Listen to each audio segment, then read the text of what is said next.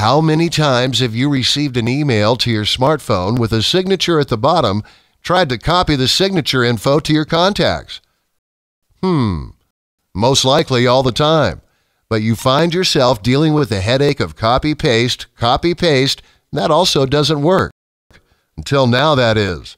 Now there is an easy way to accomplish this task.